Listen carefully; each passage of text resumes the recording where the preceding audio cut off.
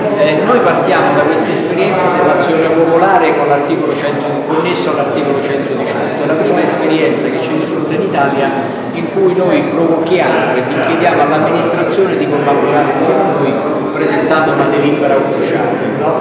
nel senso da discutere in aula nel Consiglio Comunale e nella Giunta e col prossimo sindaco. Questo è il, il tema della giornata di oggi ci farebbe piacere una tua valutazione. Sì, mi sembra che il tema sia molto importante perché noi stiamo vivendo un momento in cui la politica, anziché fare gli interessi di tutti i cittadini, sembra che faccia gli interessi delle lobby.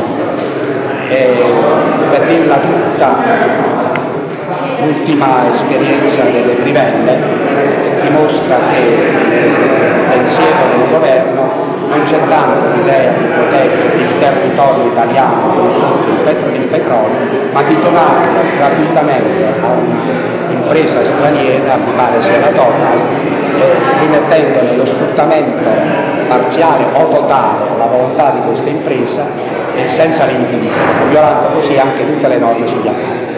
Credo che questo sia l'ultimo esempio, ma dallo sblocco Italia in poi eh, si dimostra questo. A me si interessa molto la tua domanda perché di fronte a degli errori che saranno sicuramente in buona fede dei, dei nostri governanti eh, c'è un rimedio proprio nella Costituzione. Nella Costituzione che prevede la, la rappresentanza politica e l'azione diretta dei cittadini, il popolo costituisce un contropotere che controlla il governo. Se il governo sbaglia, il popolo interviene direttamente a tre livelli, a livello legislativo, e lo sanno quasi tutti, attraverso referendum e proponimento di leggi di iniziativa popolare.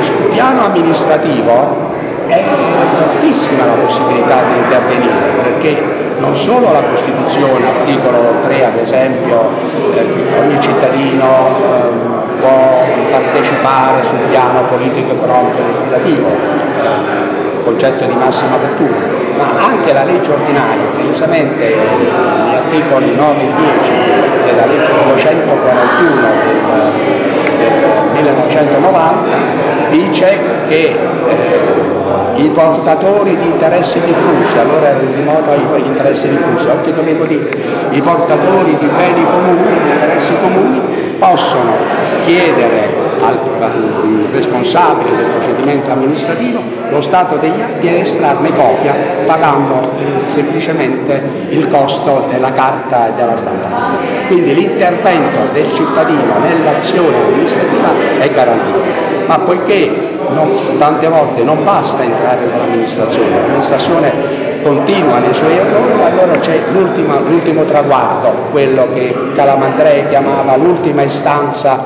che ha un cittadino, quello di ricorrere alla coscienza del giudice, cioè l'azione giudiziaria, cioè l'azione popolare. Il cittadino singolo associato, quindi come parte del popolo, può svolgere attività di interesse generale secondo il principio di sussidiarietà.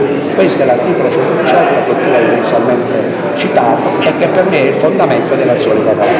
Quindi singoli cittadini o associati, meglio associati, possono ricorrere al giudice per correggere addirittura le leggi portandole davanti alla Corte Costituzionale. Un esempio brillante è stato quello dell'avvocato Besostri che ha eliminato il porcellum con un'azione popolare di questo tipo e la, aggiungo che sulla giurisprudenza amministrativa ha riconosciuto la legittimazione ad agire non solo delle associazioni ufficialmente riconosciute come le associazioni ambientaliste di promozione sociale dei consumatori, ma anche ai comitati fortemente radicati nel territorio. Quindi si apre una strada che non dobbiamo, che non dobbiamo perdere, che noi dobbiamo percorrere insieme per far valere i reali interessi dei cittadini contro lo sfruttamento di una finanza sempre più opprimente che eh, taglia i beni dei cittadini e se ne appropria indebitamente. Grazie. Amen.